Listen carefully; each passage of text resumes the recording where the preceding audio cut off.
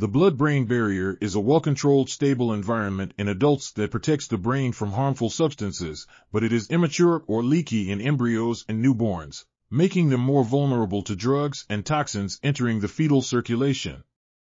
New evidence shows that many adult mechanisms are present in embryonic brains, including functionally effective tight junctions and active transporters, but some mechanisms specific to embryos, such as plasma protein transport and neuroependymal cell intercellular junctions, are not present in adults.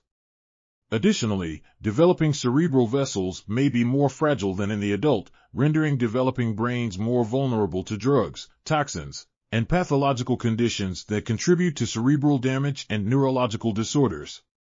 After birth, loss of protection by efflux transporters in the placenta may also make the neonatal brain more vulnerable than in the fetus.